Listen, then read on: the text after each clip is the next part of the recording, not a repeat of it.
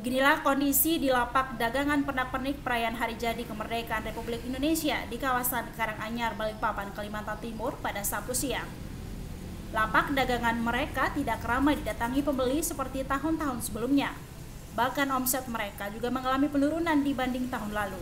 Jika pada tahun lalu tiap harinya mereka bisa mengantongi uang sebesar 3 juta rupiah dari hasil berjualan, kini hanya 2 juta rupiah saja.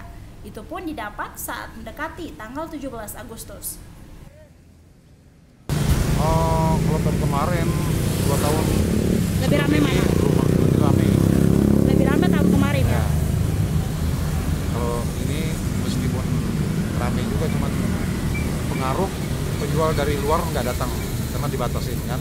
Jadi kita penjual lokal ya agak lumayan. Lumayan ramai. Agak lumayan juga. Kalau menurut anunya sih memang agak kurang juga. Agak kurang juga. Cuman omset yang agak kurang lebih aja lah nggak seberapa anu. Karena pengaruh mereka penjual dari luar nggak datang. Tidak hanya bendera merah putih yang dijajakan, tapi juga aksesoris lain seperti ketupat, gantungan kunci, hingga masker berwarna merah putih dijajakan oleh pedagang.